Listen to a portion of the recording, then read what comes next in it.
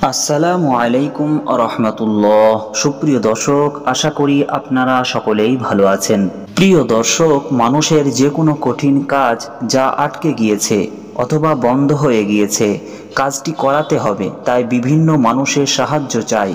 কিন্তু কোনো লাভ হয় না। আপনি আল্লাহর নিকট সাহায্য চান, তার সামনে নত হন। আজকের ওজিফাটি করুন। এর ওসিলায় আপনার বন্ধ হয়ে যাওয়া কাজ, আটকে যাওয়া কাজ, কঠিন কাজ ইনশাআল্লাহ সহজে হয়ে যাবে। এটি অনেক কার্যকর একটি ওজিফা। দিনে দুইবার ওজিফাটি করবেন। ফজরের নামাজের পরে এবং মাকরিবের নামাজের পরে ওজিফাটি করবেন। ওজিফাটি কীভাবে করবেন? ফজরের নামাজের পরে এবং মাকরিবের নামাজের পরে বসে একশতবার এই বাক্যটি পড়ুন।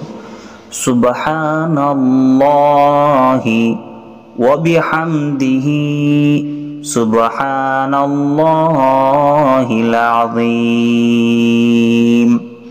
ফজরের পরে একশতবার এবং মাকরিবের পরে একশতবার এই বাক্যটি পড়ুন। শুরুতে এবং শেষে তিন তিনবার দরুদে ইব্রাহিম পড়ুন, অতঃপর দোয়া করুন।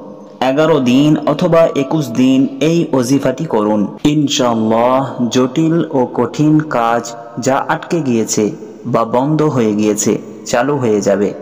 আটকে যাওয়া কাজ হয়ে যাবে। কঠিন কাজ সহজে হয়ে যাবে।